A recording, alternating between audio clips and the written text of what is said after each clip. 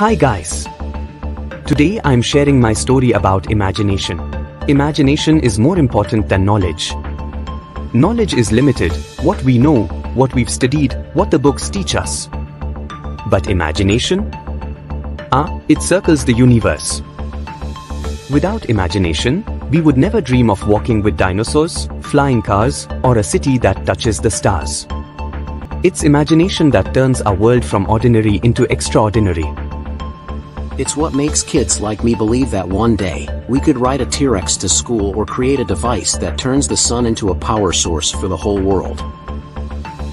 I know I am young now, but one day I'll be older. I imagine whatever I do, I'm going to do my best, or whatever I'm best at. The moral of this story is that the true key to a fulfilled life lies in using your mind and imagination. When you let your imagination guide you, there's no limit to what you can achieve.